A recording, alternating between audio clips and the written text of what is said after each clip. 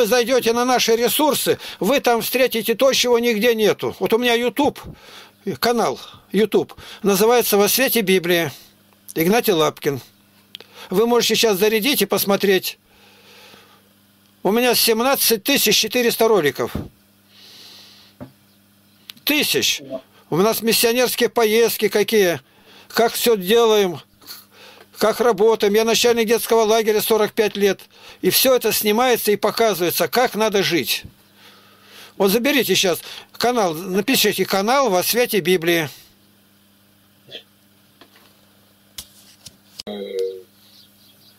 ну, не может не настолько там, как э, богословы различные, но я это знаю. Вот. Бога я верю э, и верю по-своему. Бог у меня в душе. Вот. И я часто его вспоминаю. Я не хожу в церковь.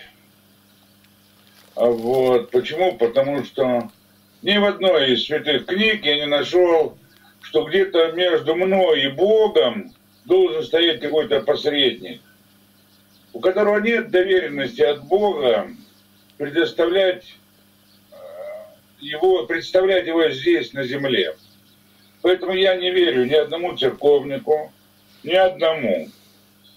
Э, я видел, как там, э, значит, меня как-то лет 20 назад позвали, там, не 20, 15 назад, позвали крестным отцом, женщине, которой уже было 20 лет.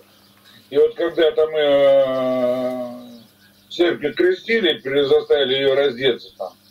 Но вы знаете, вот честно сказать, у меня было желание рожу набить этому священнику, просто-напросто вот честно, я интеллигентный, выдержанный человек, бывший большой-большой руководитель в этой стране.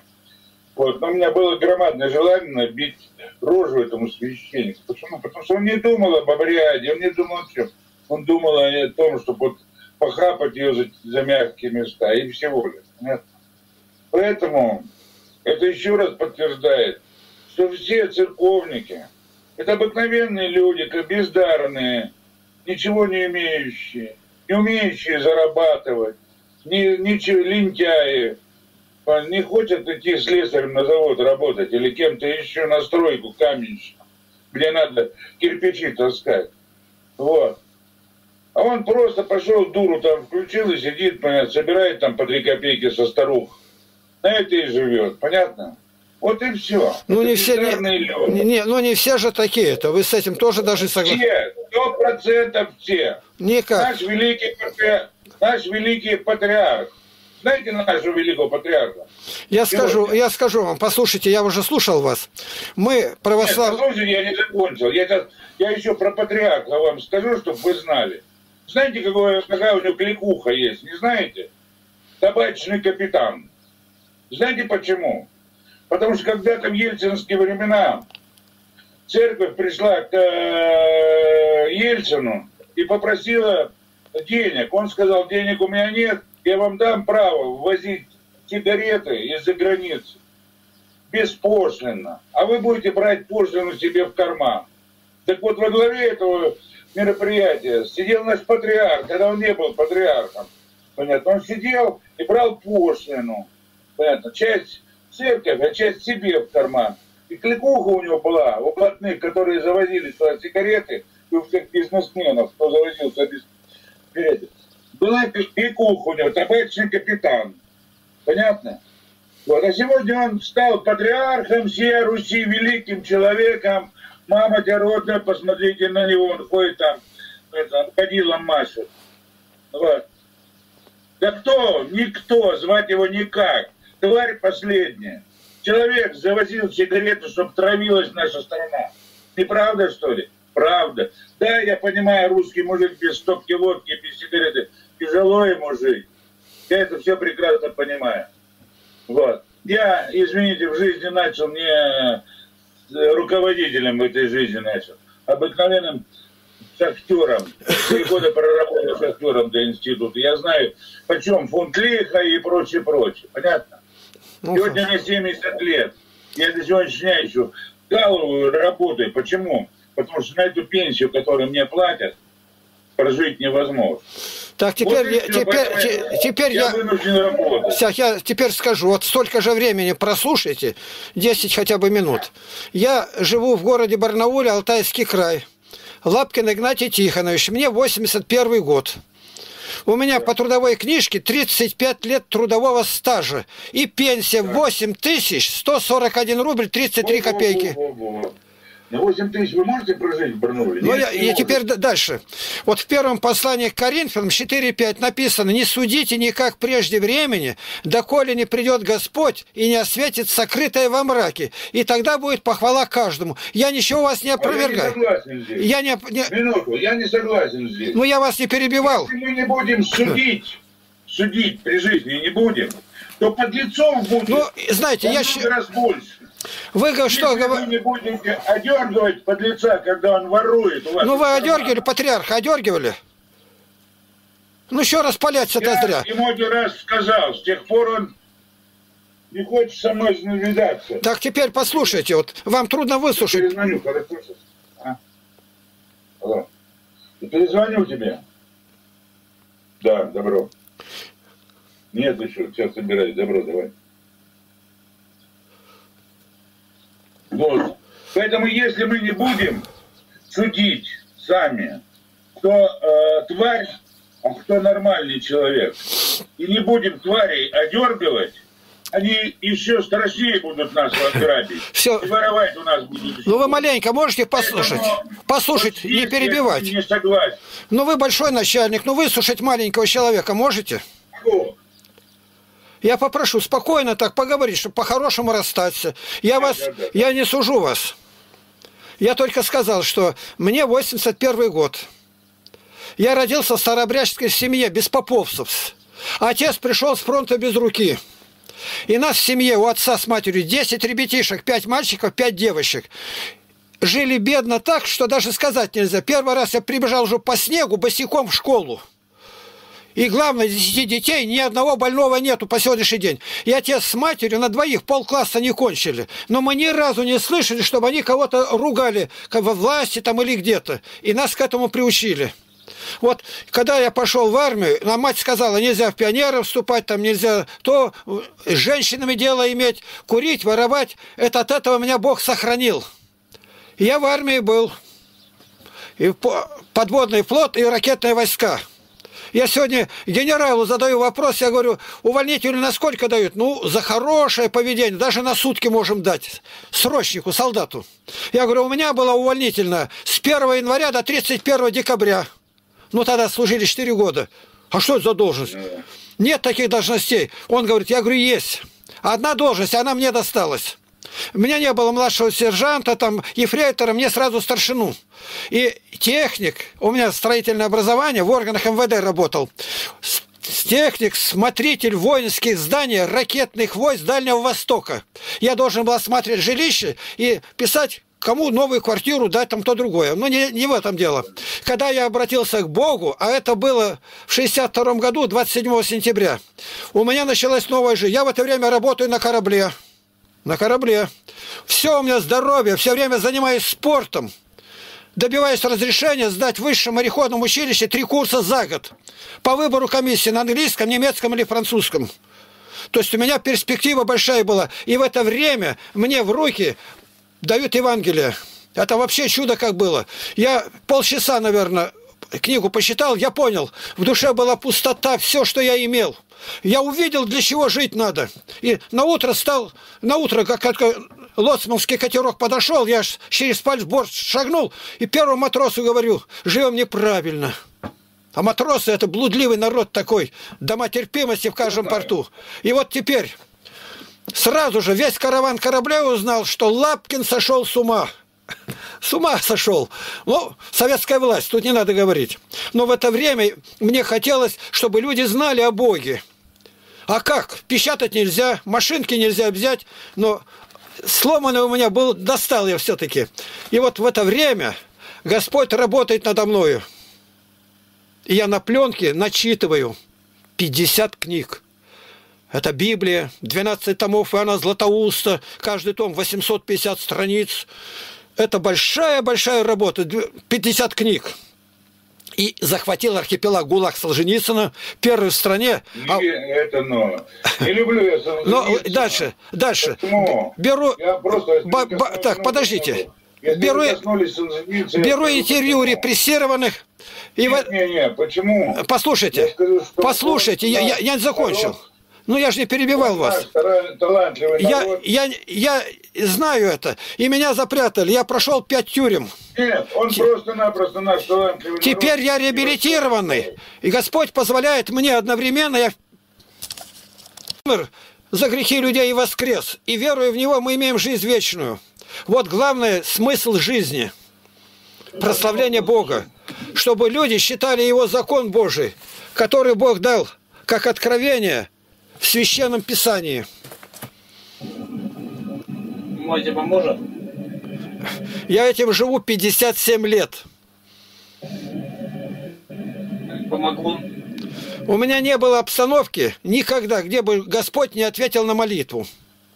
За то, что я распространял Слово Божие, советская власть меня забрала. Я пять тюрем прошел, лагерь смерти, там трудно было выжить. Меня пальцем никто не тронул грешники каялись, обращались. Следователь умер по-христиански. Один из следователей КГБ стал священником. Это Бог делает великие дивные дела. И Господь мне позволил вести занятия одновременно в пяти университетах. У меня вышло из печати 38 томов книг. Бог положил на сердце подарить бедным библиотекам. Это не маленькие книжки, каждая книга 752 страницы. И мы проехали из Барнаула до Владивостока, а потом до Лиссабона, от Тихого до Атлантического океана. Прошли Скандинавию, Прибалтику, Север и Турцию. И в 650 городов и сел по полному комплекту подарили на 35 миллионов. А почему? Потому что я хочу, чтобы народ знал. Для Бога сделать это во имя Бога моего, Иисуса Христа.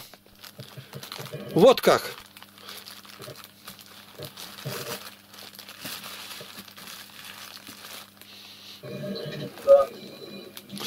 У вас вопросы есть какие-нибудь о душе, о вечности? А то сегодня умеет судить только патриарха. У него машина, у него то другое. Я за себя буду отвечать, он за себя. Я за него отвечать не буду, а должен молиться за него, чтобы он не погиб. Мы каждый день молимся за правителей, за Путина, за Дональда, за Рамзана Кадырова, за всех молимся, поминаем их имена перед Богом, чтобы правители сдавали мудрые законы, дали достойно жить людям, чтобы было еще уделять нуждающимся. Почему-то не получается, да? Получается, очень хорошо даже. Сверхчаемого Бог дает. Видели в библиотеке, у Путина мои книги стоят. Мне кажется, дают руки. Но дело Божье. А ничего не делать, подлежащий камень, говорит, вода не течет. Да. Те... И поэтому нужно трудиться, молиться, совершать молитвы перед Богом. Вот у меня тут слушают мусульмане, ну это у вас Библия, у нас своя книга. Я говорю, может быть, вот это у вас книга? Я говорю, ну прочитай, что написано. Не знает. Я говорю, у вас что написано? Можно обманывать, воровать блудить? Да нет. У вас написано, что после смерти человека есть рай и ад. И у нас написано. В этих вопросах-то мы одинаково понимаем. У них намаз пять раз, а у нас семь раз. И сто поклонов каждый раз. С Богом-то как легко жить. Мне 81 год. Господь позволил за имя Его Святое пройти пять тюрем и лагерь. И ко мне пальцем никто не прикоснулся, чтобы бить.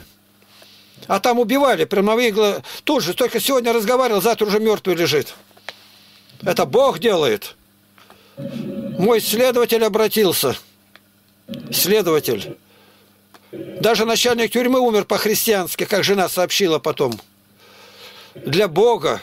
И поэтому ты смотри на свое бревно в глазу, чем у другого сучок. Тогда, говорит, узнаешь. Я сейчас с одним разговаривал, он ожесточенный такой. Такую большую я должность занимал, там что-то мало ему додали.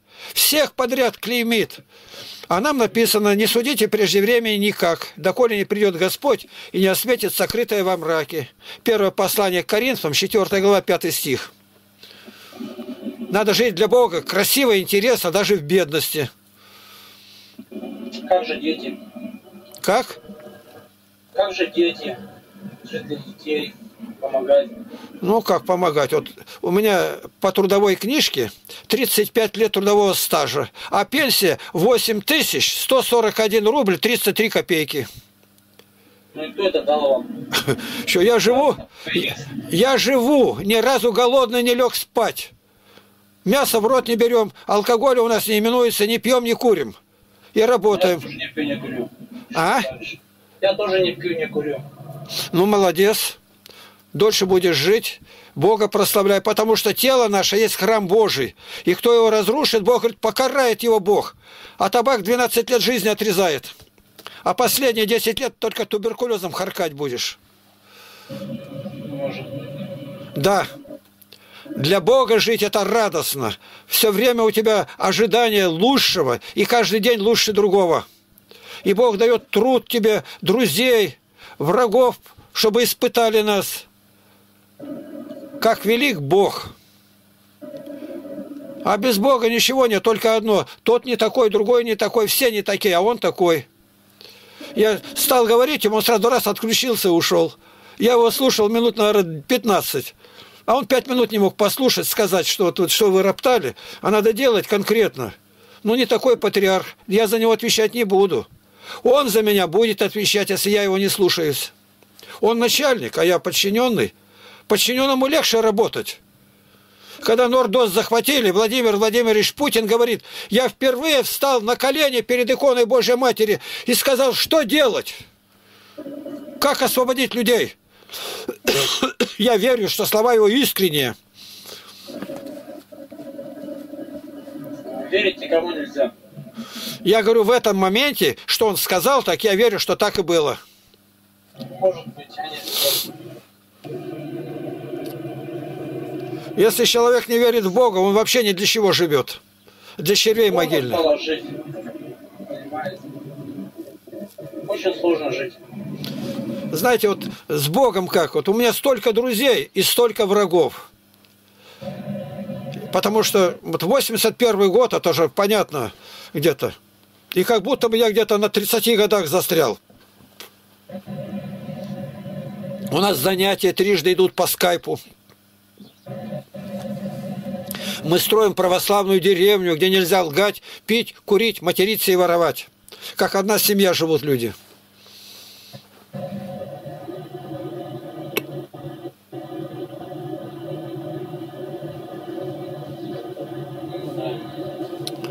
Есть у вас какие-нибудь вопросы о душе, о вечности, как душу спасти?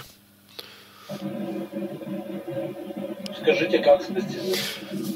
Когда Адам с Евой были в раю, еще двое были. Господь сказал, от каждого дерева всякого можете вкушать, а дерево познания добра и зла не, не, не вкушайте. В день, в который вкусишь, смертью умрешь. Они не знали, как малые дети. А змей подполз и говорит а на понятном языке, не умрете, но будете как боги. И она взяла, дала Адаму, приятный на вкус. Никто не понимает, какая трагедия случилась. В этот момент, нарушив заповедь Божию, они сделали смертными все человечество. И зато их состояние умерло уже больше 100 миллиардов людей. Но Иисус пришел, Сын Божий, и взял грехи мира на себя, чтобы искупить людей. И верой, приступая к Нему, мы имеем этот доступ к благодати Божией. Не делами закона, но верой в Иисуса Христа мы получаем спасение. За смертью наступает новая жизнь. Или в ад с сатаной мучиться, или со Христом в вечности. А мучиться – это огонь гиенский, нестерпимый, бесконечный. Вот ради этого стоит, как Серапим Саровский говорит, вот мои возлюбленные, вот эта комната вся наполнена червями, и все тебя прогрызают во всех направлениях. Ну, стоит потерпеть немножко, хотя бы лет сто, ради Царствия Божия. Если вам нужно будет узнать больше, вы запомните два слова. Игнатий Лапкин, это я. Игнатий Лапкин. Если по скайпу зайдете, вы наткнетесь только на меня. Я один в интернете с этим именем, фамилией. И я могу скинуть вам наши ресурсы, огромные ресурсы. И форум, мой мир, Mail.ru. сайт, YouTube канал.